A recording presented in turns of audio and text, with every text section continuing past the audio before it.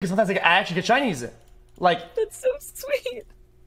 That's a beautiful perspective. I know that you're not trying to be deep, but that's very beautiful because a lot of people do not appreciate nature and you know how there's so many different animals that come in so many different shapes and sizes. I'm with you. I was just talking about on my stream earlier that I saw today a hummingbird and a butterfly facing each other, flying at the same exact place, the exact same place. Oh, Um right now it is i think like the you know a lot of the music industry is out here looking at each other flying and i That's was like cute. i didn't even take a picture of it because i was just like what is happening it was like Yeah. a glitch in the matrix